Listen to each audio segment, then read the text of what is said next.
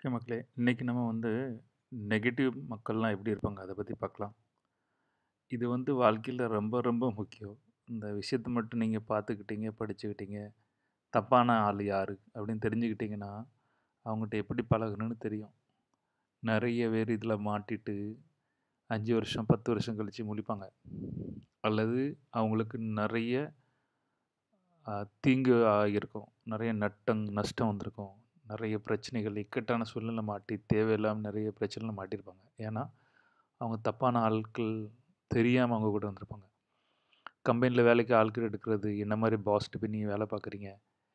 என்ன மாதிரி wife husband choose பண்ணுறீங்க லவ்வரு என்ன மாதிரி நண்பர்கள்? இது எல்லா வகையிலையுமே இந்த நெகட்டிவ் ஆட்களை கண்டுபிடிச்சிட்டிங்கன்னா உங்கள் லைஃபு சொர்க்கமாயிரும். ஓகே இது உங்களுக்கு எவ்வளோ பெரிய வேல்யூ தரும் அப்படின்னு உங்களுக்கு இதை அனுபவிச்சா தான் தெரியும். சண்டை பிரச்சனை துரோகம் ஏமாத்துறது இந்த மாதிரி எதுவுமே நடக்காது லைஃப்பில் இந்த விஷயத்த மட்டும் நீங்கள் தெரிஞ்சுக்கிட்டீங்க அப்படின்னா இது அது இது தெரிஞ்சுக்கிற வாழ்க்கை சொர்க்கமாக இருக்கும். ஓகே ஸோ ரொம்ப முக்கியமான ஒரு விஷயத்தை இன்றைக்கி பார்க்க போகிறோம் ஒவ்வொரு வெள்ளிக்கிழமையும் வெள்ளிக்கிழமை நைட்டு மூணு மணிக்கு இது போஸ்ட் ஆகும். நீங்கள் சனிக்கிழமை ஒவ்வொரு சனிக்கிழமையும் இதை பற்றி பார்க்கலாம் ஐ மீன் வெனஸ்டே ஒரு வீடியோ அப்புறம் வந்து சாட்டர்டே ஒரு வீடியோ ரெண்டு கன்ஃபார்மாக வரும். இது வந்து ரொம்ப நீள சப்ஜெக்ட்டு ஸோ நான் ஒவ்வொரு நாளும் ஒவ்வொரு வாரமும் மூணு மூணு குவாலிட்டிஸ் மட்டும் சொல்கிறேன் அந்த மூணு விஷயத்த அந்த வாரம் ஃபுல்லாக நீங்கள் ப்ராக்டிஸ் பண்ணுங்கள் இந்த விஷயத்தை தெரிஞ்சுக்காங்க. ஒவ்வொருத்தரையும் அதை அதை மாதிரி பார்க்க ஆரம்பிங்க. இதில் கண்டிஷன்ஸ் ஒன்று இருக்குது சிலவங்க பாசத்தில் உங்கள் மேலே உள்ள அன்பில் சிலவங்க பழக்க வழக்கங்கள் அப்படிலாம் இருக்கும். ஸோ நீங்கள் இதை ஒன்றை பற்றி மட்டுமே வச்சுக்கிட்டு இதை கணிக்கக்கூடாது. அவங்கள நிறைய விஷயங்களை பார்த்து அப்புறம் தான் கணிக்கணும். ஓகேவா ஒரே தடவை பார்த்தோன்னே நீங்கள் நெகட்டிவ் அப்படின்னு அந்த மாதிரியும் நிறைய பேர் சொல்ல ஆரம்பிச்சிடுவாங்க ஸோ அந்த மாதிரி இல்லாமல் பார்க்கலாம் ஃபஸ்ட்டு ஃபஸ்ட்டு எப்படி கண்டுபிடிக்கிறது? இவங்க நெகட்டிவ்னு ஓகே ஃபஸ்ட்டு விஷயத்தை பார்க்கணும்னா அவங்க வந்து யாருக்கும் வேல்யூவே கொடுக்க மாட்டாங்க. மனுஷனாகவே மதிக்க மாட்டாங்க நம்மளை. ஓகே சி நான் சொல்கிறது எகைன் எல்லாம் கண்டிஷன் தப்பில் உண்டு. சிலவங்க நிறைய படிச்சிருப்பாங்க நிறைய விஷயங்கள் தெரிஞ்சுப்பாங்க. ரொம்ப டென்ஷன் அது அந்த மாதிரி சில விஷயங்களை வந்து கண்டுக்க மாட்டாங்க. இவன் நம்ம லிஸ்ட்லேயே கிடையாது கண்டுக்க மாட்டாங்க. ஸோ அந்த மாதிரி மதிக்கிற ஆட்களை நான் சொல்லலை. ஏன்னா அவங்களுக்கு நேரம் கிடையாது இது கிடையாது பார்க்குறது அதனால அவங்க மதிக்க மாட்டாங்க அல்லது கண்டுக்க மாட்டாங்க போயிட்டே இருப்பாங்க. ஆனால் நம்ம லெவலில் இருந்துட்டு உருப்படாதவன் இருப்பான் அவன் அவனே ம- யாரையும் மதிக்க மாட்டாங்க. ஸோ மதிக்காத ஒரு நீங்கள் மற்றவங்க பார்த்தீங்கன்னா ஏழையாக இருந்தாலும் சரி அவனாக இருந்தாலும் சரி எப்படியாப்பட்டவங்க இருந்தாலும் சரி ஒரு மதிப்பு மதிப்பாங்க அவனை. அந்த மாதிரி ஒரு மதிப்பு மரியாதையோட நடக்காங்களா அப்படின்னு பார்க்கணும் அப்படின்னா அவங்க வந்து நல்ல பாசிட்டிவ் ஆள்னு வைக்கணும். எவனையும் கண்டுக்க மாட்டான் மரியாதை கொடுக்க மாட்டான். ஒரு மாதிரி அப்படியே அலைவான். அப்படின்னா வந்து இவங்க வந்து நெகட்டிவ் ரொம்ப கவனமாக இருக்கணும் இவங்க வீட்டில் ஓகே அவனும் அவன் வந்து ஒரு மனுஷனா ஒருத்தனா கூட மதிக்க மாட்டான். ஃபார் எக்ஸாம்பிள் கதெல்லாம் சொன்னால் நேரம் பட் சிம்பிளாக சொல்கிறேன் இப்போ நான் எங்கள் ஆஃபீஸில் வந்துட்டு பண்ணுற செக்யூரிட்டி எல்லோரும் என்னையே தெரியும். எங்கள்கிட்ட ரொம்ப பாசம் பேசுவாங்க. துடைக்கிறவங்க ஆஃபீஸ் துடைக்கிறவங்க பாத்ரூம் கழுவுறவங்ககிட்ட போய் நான் பேசுவேன். அவங்க எங்கே இருக்காங்க? எத்தனை குழந்தைங்க இருக்குது என்ன படிச்சுட்ருக்காங்க எல்லாம் எனக்கு தெரியும். ஒவ்வொரு ஒவ்வொருத்தரையும் வந்து நம்ம வந்து மதிக்கணும். அப்படி மனுஷனாக பார்க்கணும். இப்படி பார்க்காத ஆட்கள் வந்து நெகட்டிவ் அவங்க அந்த மாதிரி உங்களை பார்ப்பாங்க. மற்றவங்கள பார்க்கலையா? அவங்க உங்களுக்கு ஒரு நாள் ஆப் வைப்பாங்க. அதனால் கொஞ்சம் கவனமாக இருக்கணும். ஓகே இன்னும் நல்ல இதில் நிறைய பாயிண்ட்ஸ் உண்டு. இது லைஃப் சக்ஸஸ் பாயிண்ட்ஸில் இன்னொரு பாயிண்ட் உண்டு. அது வந்து நான் அடுத்த வீட்டில் கவர் பண்ணுறேன் ஒவ்வொருத்தரையும் எப்படி மதிக்கணும்? அதனால் என்னென்ன லாபம் நட்டம் என்னென்ன உண்டுன்னு அது ஒரு தனி செஷனாக பண்ணுறேன் பட் இப்போ ஒன்று என்ன புரிஞ்சுக்கோங்க. யார் ஒரு மனுஷனை யாரையும் மதிக்கலையோ அவங்க வந்து நெகட்டிவ் பர்சன் இவங்க எல்லாரும் உங்கள்கிட்ட நல்லா பிஹேவ் பண்ணுவாங்க. மற்றவங்கள்ட்ட எப்படி பிஹேவ் பண்ணுதான்னு பாருங்கள் அதே மாதிரி தான் உங்கள்கிட்ட பிஹேவ் பண்ணுவாங்க. கூடி சீக்கிரம் உங்களுக்கும் அதே மாதிரி பண்ணிடுவாங்க. ஸோ இது கவனமாக இருக்கும் ஓகே மொதல் பாயிண்ட் ரெண்டாவது போகலாம் என்வை அதாவது பொறாமப்படுறது நீங்கள் என்ன செஞ்சாலும் சரி, உடனே அவங்க வந்து பொறாமப்படுவாங்க. இது சிம்பிளாக எல்லாருக்கும் தெரியும் பொறாமப்படுங்க. இந்த பொறாமை எப்படி கண்டுபிடிக்கிறது? பேச்சில் எப்படி கண்டுபிடிக்கிறது? இல்லை கண்டுபிடிக்கிறதுன்னு, நீங்கள் ஒவ்வொரு விஷயம் பண்ணும்போது அவங்க மூஞ்சி பார்த்திங்கன்னா தெரியும். வித்தியாசம் வரும். உங்களுக்கு ஒரு நல்லது நடக்குன்னா அவங்களுக்கு பிடிக்காது. ஓகே. ஃபார் எக்ஸாம்பிள் சோஷியல் மீடியாவில் இருந்தீங்கன்னா, நீங்கள் ஃபேஸ்புக்கில் போஸ்ட் பண்ணிங்கன்னா அவங்க ஒரு நாள் உங்கள் போஸ்ட் லைக் பண்ணியிருக்க மாட்டாங்க. கமெண்ட் பண்ணியிருக்க மாட்டாங்க. ஆனால் பார்த்துட்டே இருப்பாங்க. இதெல்லாம் சரியான நெகட்டிவான ஆட்கள். ஓகே. சிலவங்க பிடிக்கல, இதை போட்டு எல்லாருக்கும் தெரிய வரும் அப்படின்னு அது ஒரு பக்கம். ஆனால் சிலவங்க உங்களோட எந்த நல்ல விஷயமே அவங்க மூஞ்சி சுருங்கிடும் ஓகே. அது ஒன்று ரெண்டாவது இவங்க ரொம்ப இன்ட்ரெஸ்டிங்கான ஆட்கள் அதாவது நீங்கள் ஒரு பாராட்டை பற்றி பேசுனீங்க அப்படின்னா, எனக்கு இந்த அவார்டு கிடச்சி இப்படி இப்படி பேசினாங்க அப்படின்னா, ஆ எனக்கு 93ல இப்படி ஒரு அவார்டு கிடச்சி அப்படிம்பாங்க. நீங்கள் நீங்கள் சொன்ன பாராட்டை வந்து பாராட்ட மாட்டாங்க. பட் அவங்களுக்கு எங்கேயும் அவார்டு கிடச்சி அவங்களுக்கு எங்கெல்லாம் பாராட்டு நடந்துச்சு, அதை சொல்லுவாங்க. ஸோ இந்த மாதிரி விஷயத்த வச்சு நீங்கள் கண்டுபிடிக்கலாம். இவங்க ஒரு மாதிரி பொறாம பிடிக்கிற கொஸ்டின் மாதிரி இருக்கும். மனசை திறந்து பாராட்ட மாட்டாங்க. நம்மளை சுற்றி தொண்ணூத்தஞ்சு பர்சன்ட் பேர் இப்படி தான் இருக்காங்க. சொந்தக்காரனாக இருக்கட்டும், சொக்காரனா இருக்கட்டும், ஃபேமிலி இல்ல. தான் அப்படிதான் இருக்காங்க. ஆனால் ரொம்ப ஜாஸ்தி எங்கே இருக்குன்னு பாருங்கள் அது வந்து இந்த மாதிரி ஆட்களை விட்டு இருக்கிறது நல்லது. மனசு திறந்து பாராட்டணும். மனசு திறந்து சந்தோஷமாக இருக்கணும். அந்த மாதிரி ஒரு ஆட்களை வந்து சுற்றி வச்சுருக்கிறது நல்லது. எனக்கு இன்னும் ஞாபகம் இருக்குது நான் வந்து நெடில் இண்டஸ்ட்ரியல் கம்பெனி வேலை பார்த்துட்டு இருந்தேன். அங்கே ஒரு 10, 15 வருஷத்துக்கு முன்னாடி இருக்கும். அந்த அந்த கம்பெனியில் பாஸ் வந்து புதுசு புதுசாக புதுசாக கார் புக் பண்ணியிருந்தாங்க. காரை வந்து வாங்கிட்டு வரதுக்கு போகணும் டெலிவரி எடுத்து வரதுக்கு ஷோரூம் போகணுன்னாங்க ஆஃபீஸில் எத்தனை பேர் இருக்காங்க? 15 பேருக்கு மேலே இருக்காங்க. அந்த எங்கள் டிபார்ட்மெண்ட்டில் ஆனால் அவர் வந்து என்னையே கூப்பிட்டு போனார் சார் சுரேஷ் வாங்க நம்ம வந்து அந்த கார் டெலிவரி" என்னடா ஆச்சரியமா இருக்குது அவங்க ஃபேமிலி இருக்குது அவ்வளோ பேர் இருக்காங்க. என்னை மட்டும் கூப்பிட்டு போகிறாரு அப்படின்னு. எனக்கு புரியல. அப் அதே மாதிரி ஷோரூமில் போயிட்டு கார் இருக்கலாம். என் முறைக்கு மாருதி 800 நினைக்கிறேன். அவரோட அவரோட ஃபஸ்ட்டு கார் அது லைஃப்பில் ஓகே. ம காருன்ட்டு வரும்போது, அப்போ "என்ன சார் எனக்கு ஒரு விஷயம் புரியல. எல்லோரும் இருக்காங்க. என்னைய போய் கூட்டு வந்தீங்கன்னா அதனால் நீங்கள் வந்து கல்லங்கப்படம் இல்லாமல் மனசு நல்லது நினைப்பீங்க.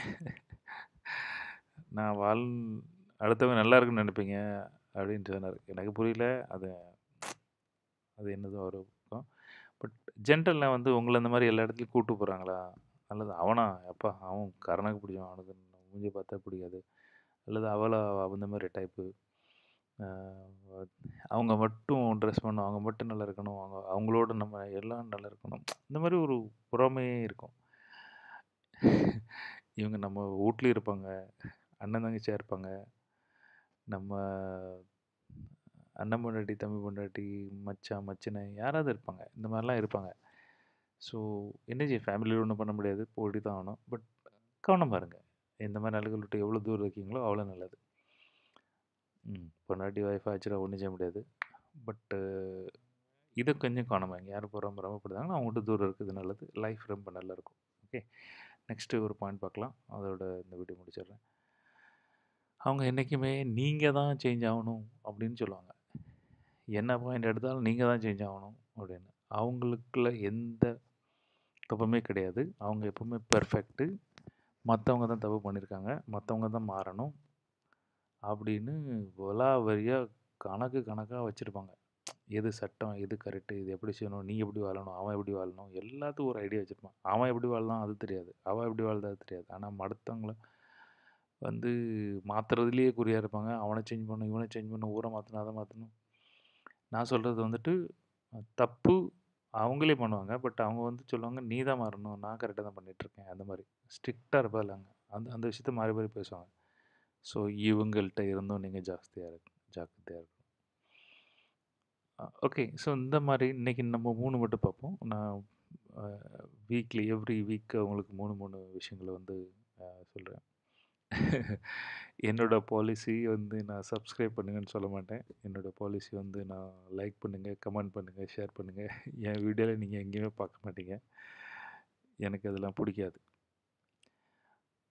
ஓகே. ஆ ஸோ நீங்க வந்து இந்த இந்த 3 விஷயத்த பாருங்க. இதே மாரி உங்க லைஃப்ல யூஸ் பண்ணுங்க. இதில எதுவும் அ இன்னும் எதுவும் சிக்கல் இருக்க? சின்ன எதுவும்னா, நீங்கள் வந்து எனக்கு என் ஃபோன் நம்பர் யூஸ்ஃபுல்லாக இருக்கும்ல யூடியூப்லேயும். வாட்ஸ்அப் பண்ணுங்கள் டேங்க் நான் கால் பண்ணுறேன் ஓகே ஆச்சா இன்னொரு முக்கியமான விஷயம். நான் வந்து இப்போ எல்லாத்துக்கும் இண்டிவிஜுவலாகவே கோச்சிங் பண்ணுறேன் ஓகே யாருக்காவது ஸ்பெஷலாக லைஃப் எவ்வளோ ட்ரான்ஸ்ஃபர்மேஷனாக எப்படிலாம் மாறுச்சு? ஸோ மற்றவங்களும் எப்படி மாற்றலாம் எவ்வளோ ஈஸியாக வாழலாம்? சந்தோஷமாக வாழலாம். ஆனால் ஏன் வாழ மாட்டேங்காங்க எல்லோரும்? அப்படிங்கிற மாதிரி எனக்கு ரொம்ப கஷ்டமாக இருக்கும். ஈஸியாக எப்படி சால்வ் பண்ணலாம். ஆஹ் என்னோட தீர்க்கதரிசினின்னு சொல்லலாம். அல்லது லைஃப்பை பார்க்குற விதம். சிலவங்க மெஸ்ஸாக வாழ்வாங்க. ஹஸ்பண்ட் ஒய்ஃபு வந்து எல்லோரும் சொல்லுவாங்க ஒய்ஃபா அவள் என்னை பின்னிடுவா அவள் என்னை அடிச்சிருவா அவ அப்படி. என்ன புரியல ஏன் இப்படி ஒய்ஃபை பற்றி பயப்படுதாங்க அப்படின்னு சொல்லிட்டேன் ஆ ஒய்ஃபுக்கிட்ட மரியாதை இருக்காது அது உண்மை தான் பட்டு இருக்கலாம். அதுக்கெல்லாம் நிறைய வழிகள் இருக்குது என்ன பிரச்சனையாக இருக்கட்டும். ஓகே அண்ணன் தம்பி பிரச்சனை அக்கா பிரச்சனை ஃபேமிலி லவ்வு அந்த மாதிரி மாமா மாமியார் பிரச்சனை. பாஸ்க்கு உங்களுக்கு பிடிக்கல கலீக்ஸ்க்கு பிடிக்கல. ஓகே சொந்தக்காரன் பக்கத்து வீட்டுக்காரன் பிடிக்கல ரிலேட்டிவ்ல எவனும் உங்களுக்கு பிடிக்கல.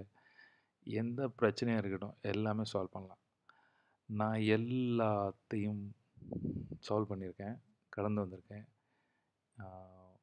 ரிலேஷன்ஷிப் சரி மணி வேலைக்கு போக பிடிக்கல தினமும் சம்பாதிக்கணும் அந்த அமைதியாக இருக்கணும் அந்த மாதிரி எவ்வளோ மேட்டர் லைஃப்பில் இருக்குது ஓகே அது எல்லாம் நான் இப்போ நான் இதெல்லாம் புதுசாக பார்க்கும்போது உலகமே தப்பாக இருக்க. சி உலகம் கரெக்டு நம்ம ஏன் தப்பாக இருக்கும்? நம்ம ஏன் வித்தியாசமாக யோசிக்கும் நம்ம ஏன் அவ்வளோ டீட்டெயிலாக யோசிக்கும் ஒரு நம்ம தப்போ? அப்படின்னா நிறைய நான் வந்து எனக்கு சந்தேகப்பட்டிருக்கேன். அந்த ஸ்டார்டிங் பீரியடில் என் டுவெண்ட்டீஸில் அந்த மாதிரி டயத்துலலாம் ஏன்னா பெரியவங்க தாத்தா பேரம்பேத்தி எடுத்தவங்க பேரண்ட்ஸு ரிலேட்டிவ் எல்லாரையும் பார்க்கும்போது இவங்க எல்லாரும் இப்படி தப்பு தப்பாக இருக்காங்க. இவங்க தப்பாக இருக்க முடியாது. இவங்கெல்லாம் பெரியவங்களா அப்படின்னு. அப்புறம் நான் வந்து கொஞ்சம் வித்தியாசமாக இருக்கேனே அப்படின்னு யோசிக்க யோசிக்க ஆரம்பித்தேன் ஆனால் போக போக போக தெரிஞ்சிச்சு. அவங்கெல்லாம் கண்டிப்பாக தப்பாக இருக்காங்க. அறியாமை ஈகோ அண்ணன் தம்பி பத்து வருஷமாக பேச பேசாமல் இருப்பது மைனி சம்பந்தி சண்டை இந்த மாதிரி எவ்வளோ விஷயங்கள் பார்க்கும்போது இதை எவ்வளோ ஈஸியாக சால்வ் பண்ணலாம். ஆனால் ஏன் இப்படி பண்ண மாட்டேங்காங்க அதுக்கப்புறம் நான் இறங்கி என் லைஃப்பில் எவ்வளோ பிரச்சனையோ ஃபேமிலியாக இருக்கட்டும் பிரதர் சிஸ்டராக இருக்கட்டும் ரிலேட்டிவாக இருக்கட்டும் என்ன சொல்லுவாங்க? என்ன பக்கத்து இருக்கட்டும் சொசைட்டியாக இருக்கட்டும் எந்த பிரச்சனையாக இருந்தாலும் சரி எல்லாமே சொல்லுவோம் எல்லாம் கன் லவ் மேட்டராக இருக்கட்டும் ஓகே ஹஸ்பண்ட் அண்ட் ஒய்ஃப் ரிலேஷன்ஷிப்பாக இருக்கட்டும். எல்லா மேட்டரும் ஸ்மூத்தாக சால்வ் பண்ணி அழகாக போகலாம் இதுக்கெல்லாம் வழிகள் இருக்குது அதுக்கு சில மைண்ட் செட் அதெல்லாம் செட் இருக்குது ஸோ யாருக்காவது இந்த மாதிரி ஹெல்ப் பண்ணணும். ரிலேஷன்ஷிப்லேயோ அல்லது ஃப்ரீயாக வா வாழ்க்கை வாழணும். பணம் நல்ல சம்பாதிக்கணும். அல்லது நீங்கள் எந்த வேலையில் இருக்கீங்க? அந்த வேலையில் எப்படி ஸ்ட்ரைட்டாக மேலே போகிறது என்ன மாதிரி பண்ணுறது எல்லாரையும் பிடிக்கிற மாதிரி நடந்துக்கிட்டு இந்த மாதிரி நிறைய விஷயங்கள் வந்து உங்களுக்கு எதுவும் ஹெல்ப் தேவைன்னா நான் வந்து கீழே லிங்க்கு கொடுத்துருக்கேன். அதில் வந்து நீங்கள் அந்த சர்வே ஃபார்ம் ஃபில்அப் பண்ணுங்கள் அதில் வெறும் பணங்கன்னு முக்கியம் இல்லை. மற்ற பிரச்சனைகள் எது இருந்தாலும் நீங்கள் அதில் சொல்லலாம். அது நீங்கள் எலிஜிபிள் அல்லது நம்ம ரெண்டருக்கு ஒத்து வரும் நான் வந்து உங்களுக்கு கைட் பண்ணலாம் அப்படின்னு தோணுச்சுன்னா நான் உங்களுக்கு கால் பண்ணுறேன் மீதி விஷயம் நம்ம அப்புறம் பேசலாம். ஓகே ஸோ வர வர இந்த விஷயத்தை பார்ப்போம். நெகட்டிவ் இந்த மாதிரி மாதிரி க்ரூமிங் பற்றி நான் வீடியோ பண்ணலான்னு இருக்கேன். அப்புறம் வந்து இன்டர்வியூ ஸ்கில்ஸ் பற்றி வீடியோ பண்ணலான்னு இருக்கேன். வீடியோ இது இன்டர்வியூ எப்படி கொடுக்கணும் சிவி எப்படி பண்ணணும் வேலை எப்படி தேடுறது? இந்த மாதிரி எக்கச்சக்க ஒன்று ஒன்றா பண்ணிட்டான் நடிச்சிட்ருக்கேன் பார்க்கலாம் அப்படின்னு. Okay thank you see you next week